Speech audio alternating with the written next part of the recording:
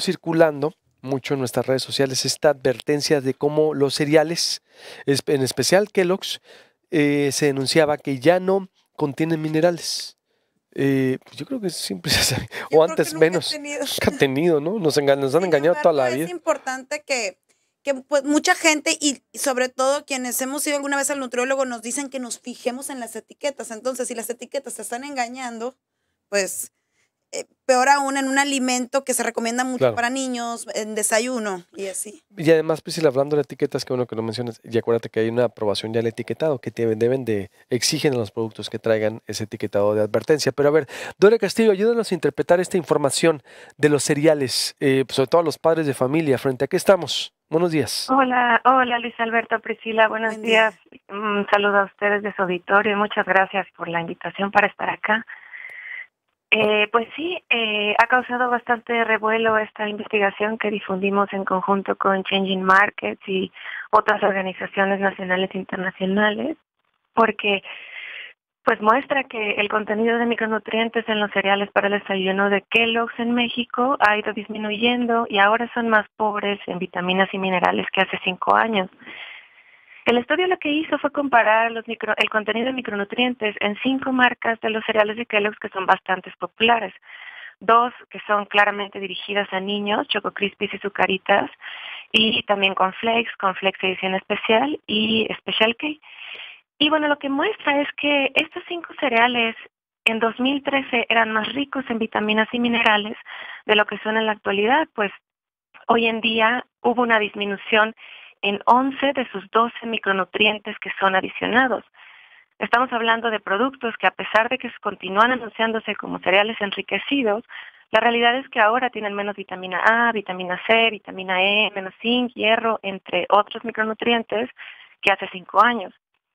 Y ocurre algo cuando hablamos de micronutrientes porque se trata de sustancias esenciales que son imperceptibles para las personas. Así que este empobrecimiento podría parecer inofensivo, no significar gran cosa, y en este sentido, para dar dimensión a la gravedad del asunto, el estudio de Changing Market lo que hizo fue calcular, por una parte, cuál es el ahorro económico que ha representado para la compañía eliminar tres nutrientes clave, hierro, calcio y ácido fólico, y por otra parte, calcular cuáles son los costos sociales mínimos acumulados de este empobrecimiento de micronutrientes para los consumidores de Kellogg's en México, en un contexto como el que tenemos donde las deficiencias de micronutrientes continúan siendo un problema de salud pública.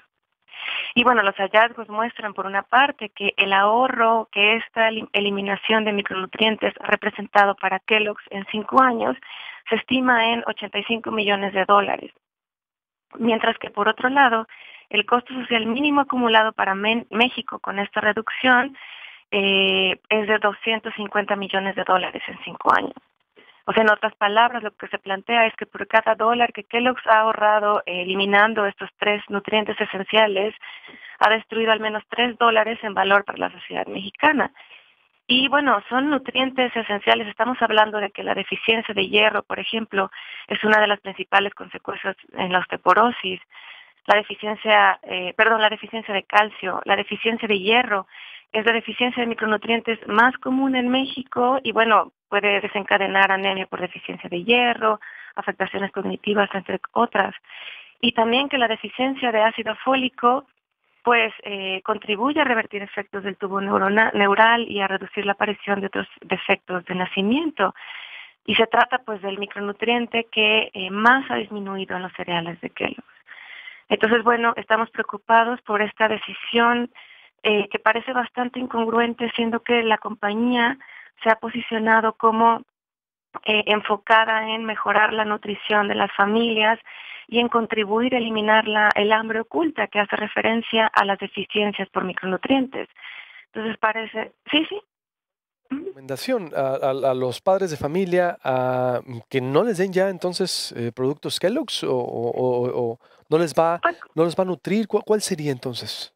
Sí, bueno, considerar que eh, los cereales eh, industrializados presentan un doble problema. Por una parte, eh, son altos en macronutrientes que pueden resultar eh, peligrosos, no dañinos, como altos en azúcares, muy altos en azúcares, muy altos en sodio. Y por otra parte vemos que uno de los eh, motivos por los cuales se podría, ¿no? Como comprar el cereal, que es el contenido de micronutrientes, pues también está disminuyendo. Entonces, considerar que las familias eh, pueden contar con otra serie de alternativas más cercanas a sus contextos locales, a cocinas tradicionales, alimentos frescos preparados en los hogares, que pues sí, son más ricos en, en nutrientes que son adecuados al contexto cultural, que siguen también una serie de tradiciones y que, eh, bueno, también eh, han mostrado que estos alimentos que muchas veces son más eh, beneficiosos para la salud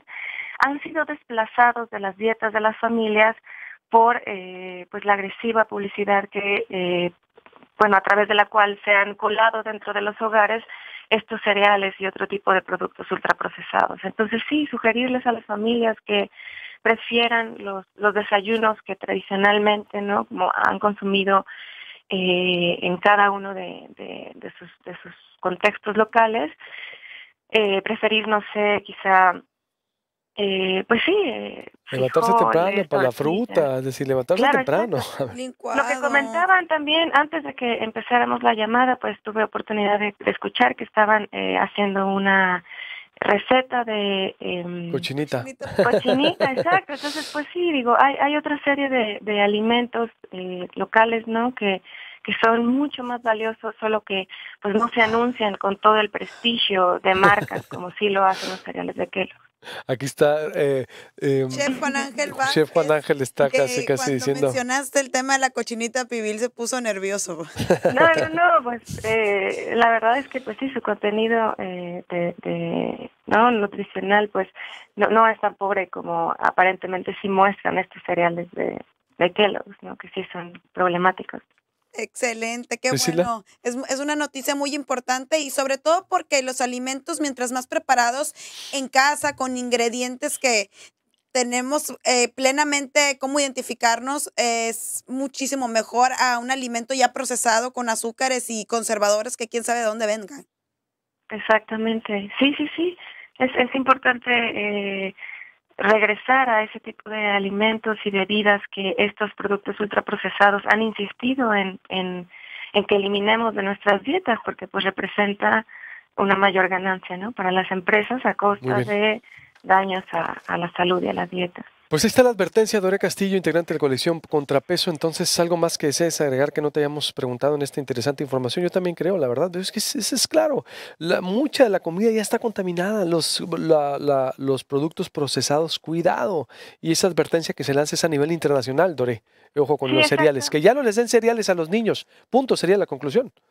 Sí, sí, sí, y, y, señalar que pues Kellogg's está fallando a esta promesa que reiteradamente ha hecho de nutrir a las familias y a los niños para que crezcan y prosperen y que la decisión de eliminar micronutrientes como calcio, hierro y ácido fólico en estos cereales es inaceptable en un contexto como México, donde eh, pues tenemos una deficiencia grave de estos micronutrientes. Entonces, pues sí, eh, señalar que, que, se trata de una cuestión problemática y que a la medida que prefiramos, preferamos otro tipo de alimentos y bebidas, pues no estaremos apoyando este tipo de prácticas que, son bastante problemáticas.